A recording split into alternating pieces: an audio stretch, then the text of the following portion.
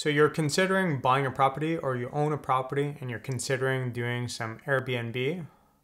Well, take a look at this video to make sure that you considered all the implications.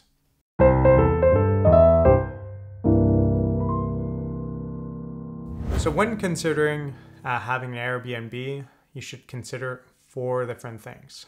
First off, are you allowed to have short-term rental in the building that you're considering doing short-term rental? And some people would think, obviously, yes, it's my own. But the quick answer is no, not necessarily. Some properties allow it, and some properties completely refuse short term rentals. And some might refuse long term rentals, but those are quite rare. So maybe you're not even allowed to buy this property and to do short term rentals. So that's something that you have to consider. Second is you want to make sure that you're well insured.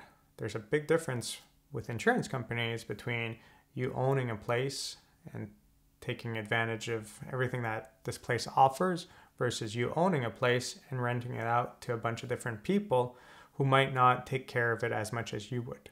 So there's definitely an, a difference in insurance there, and Airbnb might help you out with that. But it's something you really want to make sure that you're fully covered, especially if you have different things that could be damaged that are worth a lot of money to you.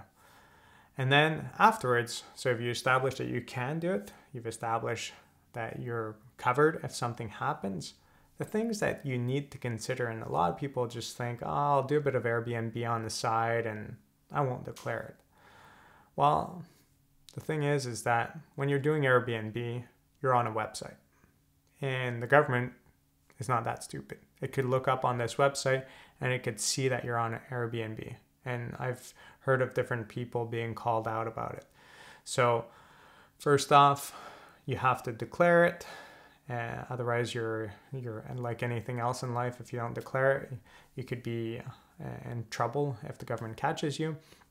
And then, if you declare it, which you should, well, you'll have to pay certain level of taxes on those revenues. So the the income that you generate creates a certain level of taxes that you'll have to pay at the end of the year. So that should be considered because if you're renting it out at 100 or 200 dollars a night, don't think that all of that money goes to you. A lot of that money will go to the government.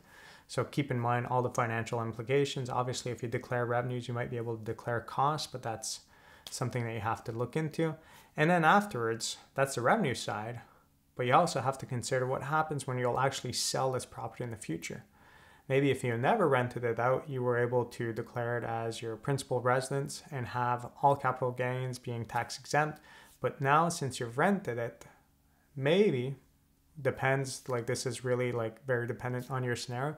Maybe you'll have a situation where you can't uh, declare it as all of your principal residence. Depends what portion of your property you're renting out and so on and so forth. So, different questions you have to ask yourself before jumping in and saying Airbnb is the way to go.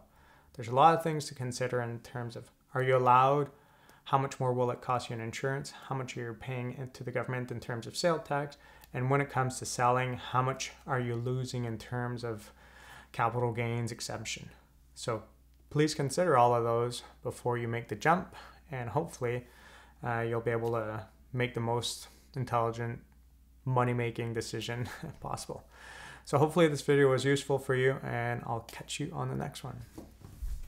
If you found this video interesting, please consider subscribing or joining my class where I guide you to apply and expand on the information found in these videos to real life examples. Have a good day.